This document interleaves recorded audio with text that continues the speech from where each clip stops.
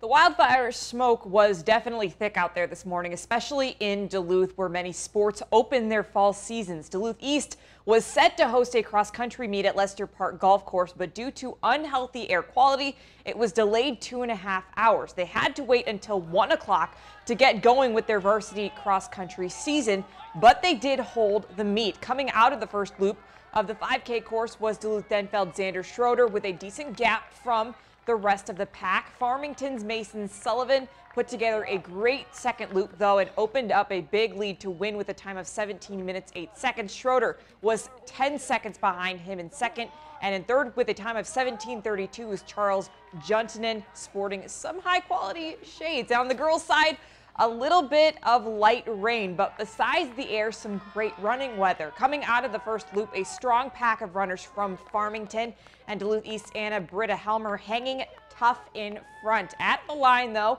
Four Farmington Tigers pulled away, led by Mariana Scott with a time of 19 minutes 30 seconds.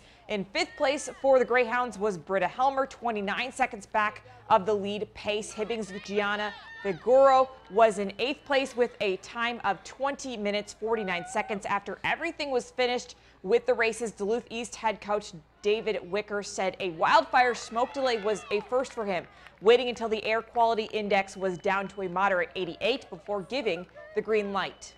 Fortunately, we were able to run, although we had a lot of, uh, many of our runners didn't run because they and their parents decided that it was it was probably not a good idea because of the air quality, and that was it. That was fine.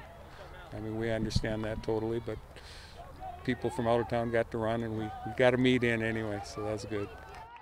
Wicker was especially thankful for his assistant coach James Kaiser, who helped them monitor the unfamiliar air quality situation.